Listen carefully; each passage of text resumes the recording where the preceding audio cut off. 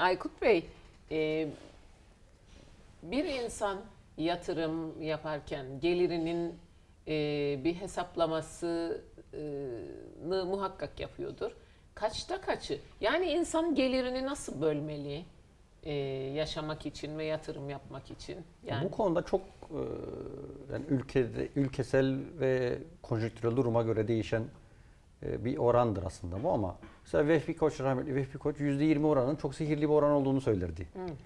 Yani ben de e, kendi deneyimlerimden %15 ile 25 oranında bir tasarruf oranının çok makul bir oran olduğunu değerlendiriyorum. Yani sahip olduklarınızın %15 ile 25'inin nakitte olması gerektiğini ve yatırıma dönüşmesi gerektiğini e, değerlendiriyorum. Yani ne kazanırsanız kazanınız az veya çok. Evet. Yani bunun yüzde oransal olarak. e, 80'ini harcamak, %20'sini biriktirmek mesela e, doğru ve sihirli bir orandır diyebilirim.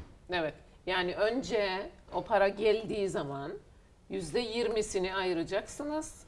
Geri kalanını harcayacaksınız Evet. herhalde. Değil mi? %20'si e, belli bir zaman içerisinde bir birikime dönüşecek. O birikimle daha çok katma değeri yatar, e, yapan bu bir şirket ortaklığı olabilir, bir gayrimenkul yatırımı olabilir.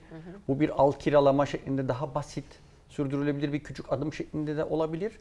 E, çeşitlenmek suretiyle hem gelirinizi hem yatırımlarınızı çünkü hem bir gelir yaratmıyorsunuz, yaptığınız yatırımın değeri arttığı için de bankadaki faiz oranının çok ötesinde e, bir değer artışıyla birikimleriniz katlanıyor. Yani sizin 10 yılda biriktirdiğiniz aslında 20 yıl birikmiş gibi önünüze geliyor. Sonra o 20 yıl 10 sene içerisinde 30 yıllık değil 40 yıllık 50 yıllık bir birikim gibi önünüze geliyor. Ve bakıyorsunuz uzun yıllar içerisinde çok daha e, sürdürülebilir bir yaşam düzeniniz oluşmuş oluyor. Bu, Evet. bu batıda çok yaygın bir olay.